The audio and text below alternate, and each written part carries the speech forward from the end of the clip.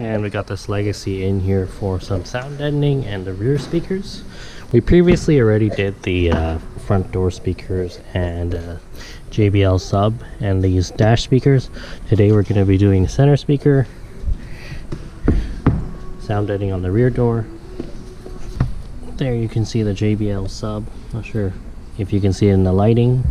Um, this one takes a 30 amp power, so we got power straight from the battery. Uh, really pounds, really nice sub, and doesn't take up any space at all.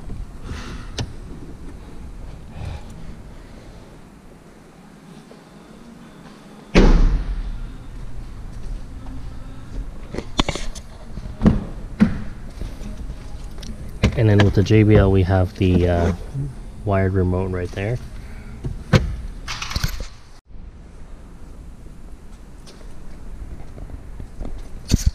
And here we have this Tesla Model 3, really common spec white with the stock 18 inch wheels. Uh, pretty awful tire, the Primacys. Um, in the 235 45 18 we're going to a much better tire. It's also a michelin but the as3 plus uh, in a much bigger size. So as you can see there's a lot of clearance in the back. Not actually that much clearance in the front but we're going with a really aggressive setup for this car.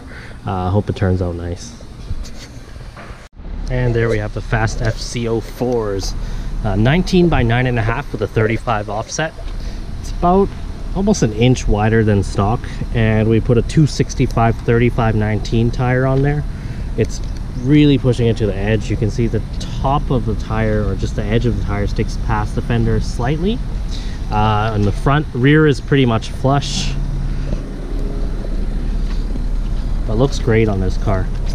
Uh, rear is basically perfect. I wouldn't bother adding a space or anything. Front could do with a little bit more camber. It would bring it in nicely, but this is stock suspension, stock alignment. This car has less than a thousand K on it, so it's very new. Uh, these tires are uh, these tires are obviously a little bit wider, so do expect a little bit less range out of them compared to the factory Tesla tires. But you are getting a better tire overall. AS3 Plus is going to outperform both in the dry, wet, and the snow uh, compared to the stock Primacy MXV4s. They might not be as quiet because they're not the Tesla original spec, so they don't have the uh, soundproofing that's inside those tires, uh, but they should be a much nicer to drive tire. And for a lot of our customers, if you're commuting in the city or charging every day, the range is not really a big deal. You're still getting well over 300 kilometers out of these and just very aggressive. Uh, matches the style of this car quite well. I think it's it's like a more aggressive take on the factory 18 inch wheels. And there's those stock wimpy 18 inch wheels for comparison. Um, yeah this is without the aero cover. Already a bit more sporty than the aero cover look but you know that same 5 V spoke design is mimicked on those new wheels but with a lot more concave to it more aggressive color and more aggressive fitment obviously. And just to show you how new this car is 81 kilometers on the clock and we put new wheels and tires on it. So customer never even drove on these wheels and tires. But good thing about that is they're being sold right away. Uh, customer found a buyer for those old wheels and tires so it's actually a pretty good situation and here we have this Q50 in uh, did a window tint on it. So we did 55% on the front 18 on the rear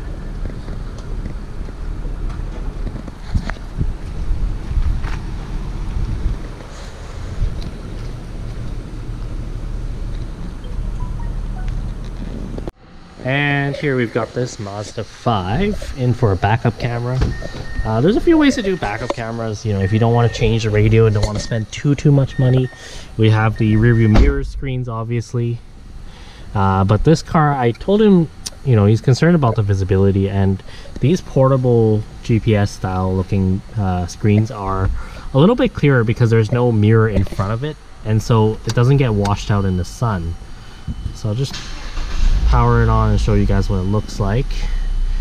So when you shift into reverse then you get the rear view there. And then for the uh, actual camera itself we have one of these license plate units. Uh, this kind of setup we can do for most cars under $400 installed. So that's screen and camera and all the labor involved and parts and materials, everything. So again, shift into reverse, lights up. And here we have this brand new Lexus RX. Uh, customer decided on the Viofo A129 Pro Duo. Uh, this camera is really good video quality, super high bit rate. Um, so make sure to get the big memory card for it. So the camera is beeping right now because there's no memory card in there. Uh, this camera does do parking mode, motion detection, all that stuff. Now, because of this ferrite bead, you can't really tuck this away so well compared to other dash cams, but um, it's it's not bad. It's pretty sleek overall, the wedge shape. There's a few things we don't really like about this camera. For one, the rear camera cable is super thick. So some cars, there's not enough room in these tubes to run that rear camera through. Um, and in those cases we just tell the customer it's not doable. Generally speaking we, we haven't found a car yet that we actually got stuck on but it is difficult. The other thing is because the rear camera cable goes straight out the back you can't mount the camera like really flush against this trim. Um, so you have to leave about an inch of space for mounting this camera. And what that means is some applications it might not be as discreet. Uh, you can see it's kind of pinching the wire right there um, and that's just kind of the cleanest way to do it but it's not uh, the most ideal. Compared to thinkware or BlackVue cameras we have the rear camera cable coming out of the side. We can put the camera nice and high up. Now from the driver's seat you just see the camera poking out a little bit. Um, actually from where I normally sit I don't even see the camera which is great. And we have this Maserati in for AlloyGator wheel protectors going for a red color customer previously had these tape on ones and tape on ones they don't really hold in that well. They're just literally tape and what happens is they leave a lot of residue around your wheel. So if you bring us one, a car that had these previously installed do expect to pay a little bit of labor because we need to take off all the residue of the adhesive otherwise the AlloyGator won't sit in properly. And here we have this BMW 430i in for the Thinkware Q800 Pro. We have the rear camera mounted up on the convertible top. And for this car we have a battery pack as well mounted right there. Q800 Pro mounted there and the rear camera just show you the top operation because we have the wire running into the convertible top. Motion detection recording. Over 10 occurred.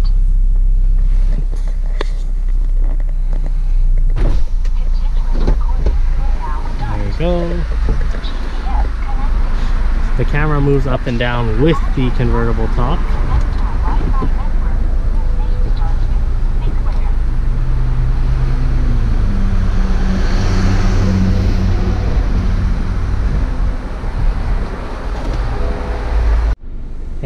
the top is down uh, the rear camera won't have any recording and I'll just show you how this works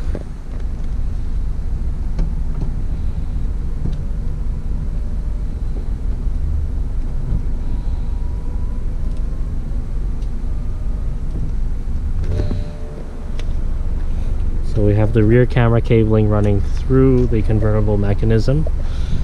Rear camera is right there.